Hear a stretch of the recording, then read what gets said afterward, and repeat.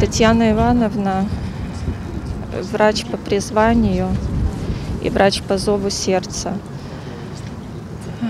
Более 40 лет отдана медицине.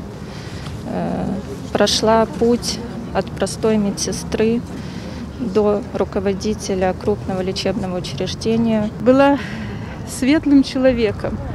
Есть, не зря говорят, светят другим, сгораю сам. Это о ней, потому что она сгорела на работе. Мы каждый день с ней были бок о бок и видели, насколько она была поглощена работой. Всегда появляясь в отделении с утра, был ее такой позитивный позыв, что мы все чувствовали себя ну, как-то духотворенными и старались работать, ну, отдаваться так, как она, не подвести ее. Мы вместе с родственниками потеряли маму, потому что это было не руководитель, а это, был, это была вторая мать.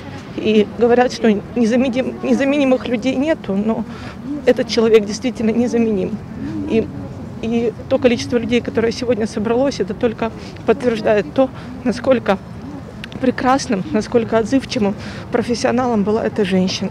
Городская детская больница номер два – любимое детище Татьяны Ивановны. Заложенные ею планы, мечты и возможности по развитию одесской педиатрии и оказанию современной помощи малышам будут продолжены. До последнего времени Татьяна Ивановна занималась все передовые методы и усовершенствование работы и стационара. Очень много сделала для работы. Мы обязаны продолжать то дело, которое она начала. И мы обязуемся выполнять все то, что она нам верила и доверила за последние несколько лет, когда для нашей больницы было выполнено такое количество работы, такое титанические усилия в, в эти годы ковидные, которые были очень непростые. Мы сделали невозможное.